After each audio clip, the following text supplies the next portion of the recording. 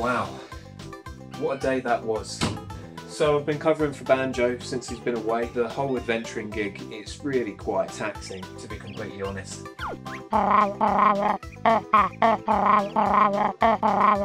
Yeah, well, you would say that, Kazooie. You've been moaning non-stop all day. Are you done?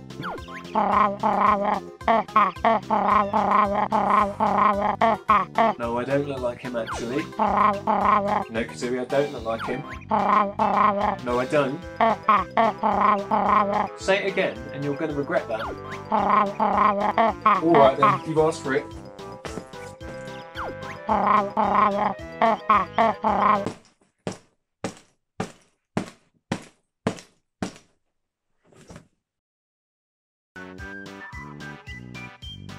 In 2019, the gaming world celebrated the return of one of gaming's most mistreated souls, and a bear was with her too. The return of Banjo and Kazooie to the limelight in 2019 is certainly something I was glad to see, especially given the love and appreciation of the characters felt seemingly universal, but it certainly didn't feel that way for a while. Banjo and Kazooie, in a way, feel like cult classics. They are tragic legends of gaming. They appeared, took the world by storm, then slowly glistened out until their recent Characters filled to the brim with charm, the duo largely established their status as lovable characters due to their sharp-witted dialogue, memorable abilities, and magnificent designs. Banjo's design staples include brown fur, a beige belly, yellow combat shorts, a shark tooth necklace, and a blue backpack containing none other than Kazooie the Breegull. Red and yellow feathery delight with absolutely no filter, kind of like Hulk Hogan.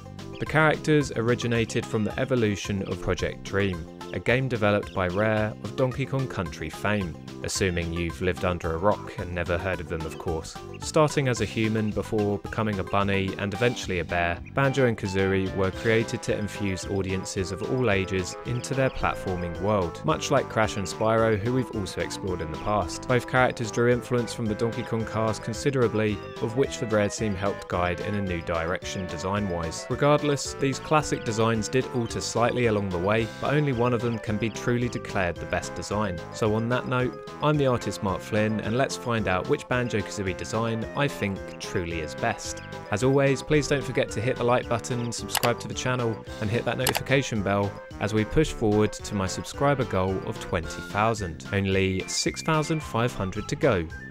This might take a while.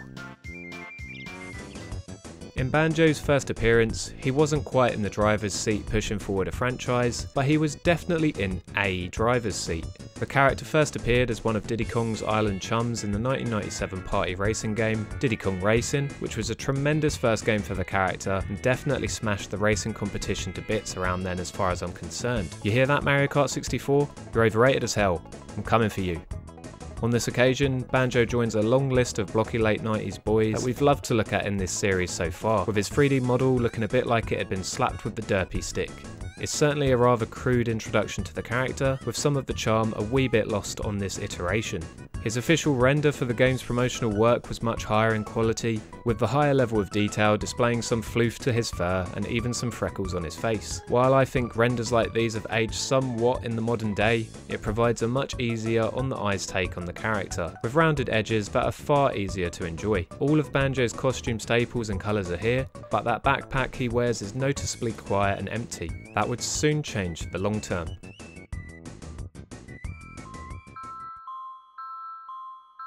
In 1998, Banjo would get out of the vehicles and realise his true potential as a platform gaming god, and along with Kazooie, he definitely smashed the 3D platforming competition to bits as far as I'm concerned. You hear that, Mario 64? You're considerably less overrated, but I'm still coming for you. While this Banjo doesn't feel like a different character at all when compared with his original appearance, he features some improvements to his character model and even a new co-star. Quite often in this series we talk about in-game models and sprite work struggling to match up with the promotional arts of the games they represent, but this is definitely one of the occasions in my eyes where this isn't the case and the devs truly succeeded. The pre-rendered artwork is exactly the same style as Diddy Kong Racing, key difference this time being that we get to see Banjo's feet, something for my furry audience there. However, in contrast to Diddy Kong Racing, this game model is a much more faithful rendition of the artwork, the garish blockiness is refined, and even though he is still made up of polygons, Banjo feels far more smoother and rounded.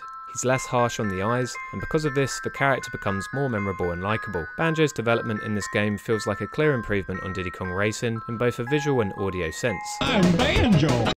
I know audio is somewhat unrelated in this series, but I can't be ignoring that. It's definitely an audio improvement, and it's unquestionably up there as a contender to be his best design.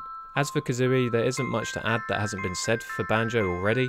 She is established very clearly for the first time here, with her red and yellow feathers and long talons being highlighted.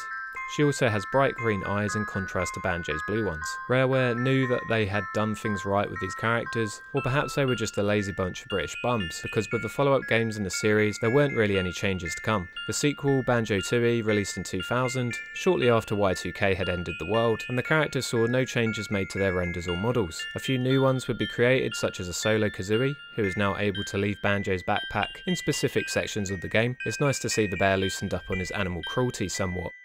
Probably best not to approach that topic actually. So we've already had our moment today where I talk about the series promo art being represented in the game via the 3D models. Seem to do that every episode actually.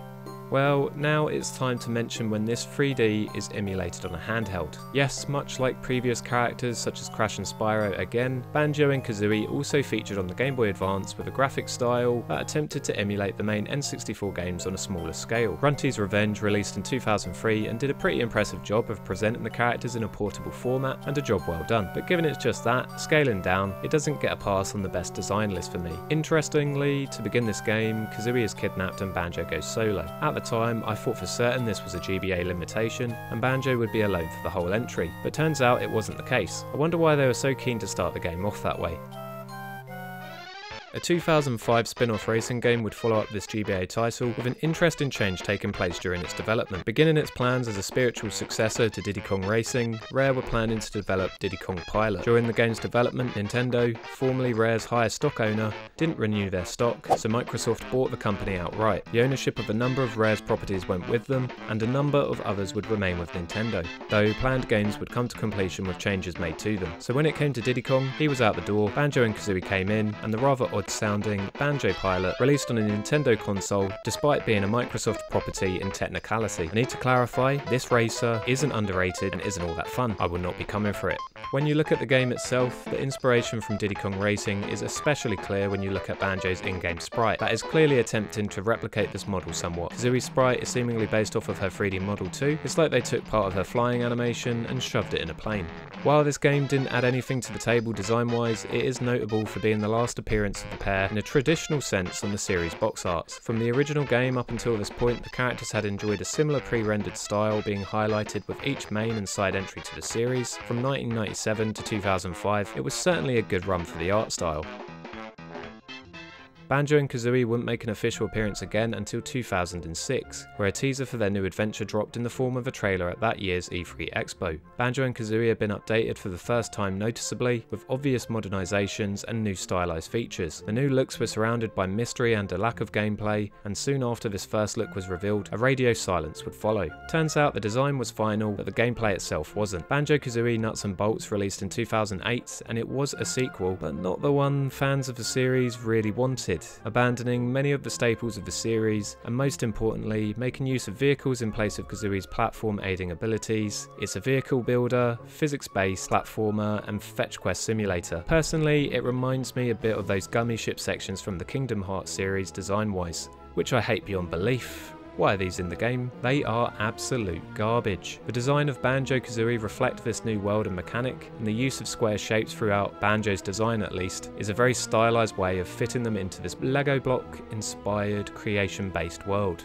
As well as this, the step into HD allows them both to have some finer details in game that they didn't have before. Banjo's outfit, while the same, has a lot more texture to it. His backpack, now complete with red straps, and his shorts have a real patchwork sewn together feel to them. However, facial features such as his freckles aren't here from the original game's artwork. Kazooie also had a bit of a do-over here, her feathers on her head are much longer, her beak is far more curved and expressionate, and most notably she now has much longer eyelashes. I'm unsure whether this was to make the character more feminine, or whether it was to contrast her potty mouth and attitude with a more eloquent design. Characterization wise the duo couldn't be less alike, so I think it's a really cool idea to have Banjo made up of blocky hard shapes and Kazooie made up of rounder and sharper ones. It's a nice subtle way of showing just how different from each other they are through their design rather than any words. Shame you can barely see both of them amongst all the vehicles and garbage blocking the screen. I actually love both the characters' designs here, their creative takes on the previously established looks, but I absolutely hate what they represented. They are both characters in a game that isn't theirs, and while the game itself isn't actually terrible, it's not a Banjo-Kazooie game, and at this point it looks like we might never get another one. I mentioned in my last video Capcom's slight ignorance with their implementation of the rebooted DMC and Dante's design. Rare and Microsoft were similar in their execution here. Poking fun at collectathons and portraying your characters as fat jokes is great for a quick laugh and a bit of fourth wall breaking. I personally did find this quite funny, but it also established a sour taste in the mouths of fans of the series as they weren't actually getting the game they wanted. This taste clung to these designs and likely has made many people see them less favourably. Again, Again, Nuts and Bolts isn't a terrible game, much like DMC, but it isn't what the fans actually wanted. The duo would also cameo in Sonic and Sega All-Stars Racing using this look in 2010, exclusive to the Xbox 360 version of the game. It would be the last game to feature this look for them,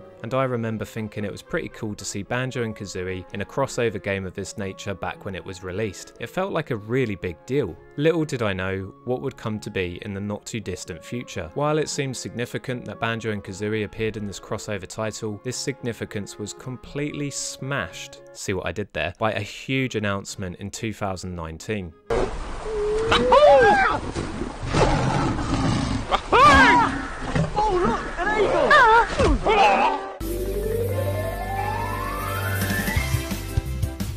Banjo and Kazooie were coming to Smash Bros. and the internet lost its collective minds. Accompanied by Spiral Mountain as a level, the Bear and Bird landed in the fighting franchise, eggs are blazing, and smashed through foes whilst looking incredibly faithful to their original designs, removing the block shapes and OTT eyelashes that the Xbox had introduced, and returning to models that better resembled the look of the Nintendo 64 artwork completely surreal. Other features such as Banjo's hair look better than they've ever done before and the character's textures are just that little bit more realistic than they once were, but not too realistic. Rare proudly commented on the reveal on their own blog, drawing special thanks to Paul Cunningham, one of the artists who had previously worked on Jet Set Gemini and Donkey Kong Country. While a core group of folks at Rare worked on this, we have to give a special shout out to our own Paul Cunningham, who has been our main point on getting everything about Banjo and Kazooie's appearance just right. Just right is exactly right. Building off the strong original artwork and model, this version restored both of them to their former glory in beautiful HD, and boy oh boy do they look good in this game. So that's all the designs I can think of today, and outside of the Xbox's iteration, Banjo and Kazooie haven't really changed much, have they? They have been to a number of different platforms and have experimented with a few different genres, but largely speaking, they have been the same looking characters expressed in ever so slightly different ways. Ultimately, I can make my decision without too much hesitation, and it's very comparable to the decision I made in my Spyro the Dragon video too. Super Smash Bros. Ultimate, the most recent inclusion of the character, absolutely nails the look of Banjo and Kazooie, and is easily the best design in my eyes. It takes the original characters as intended in the game's artwork and brings their original concept to the modern day in a big way. It's as if that original art has come to life, but without the somewhat nasty looking shininess from those old school style renders. Both characters are full of expression and character, faithful to their origins, and feel new and improved